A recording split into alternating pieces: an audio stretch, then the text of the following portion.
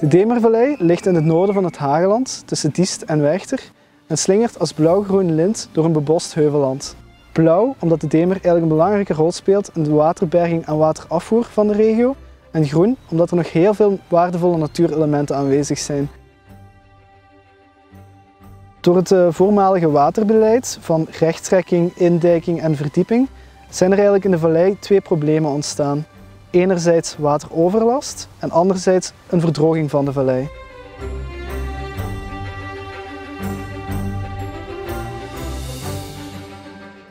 Uh, ja, we zitten hier aan de kronkelende tafel.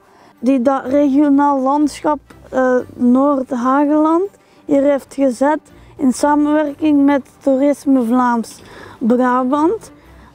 En wat ik daar uh, heel plezant aan vind, is dat het gezellig is. Toen dat de tafel hier pas stond, dan heb ik meegewerkt uh, met de lokale diensten om hier een catering te doen. En dan hebben we eten en drinken aan al die mensen gegeven.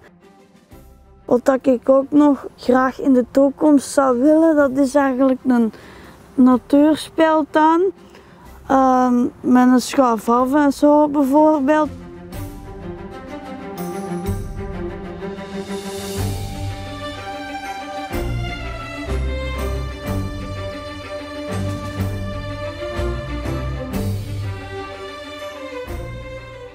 Door steeds meer in te zetten op projectrealisaties samen met onze partners trachten we de globale visie te vertalen naar een Demervallei in beweging.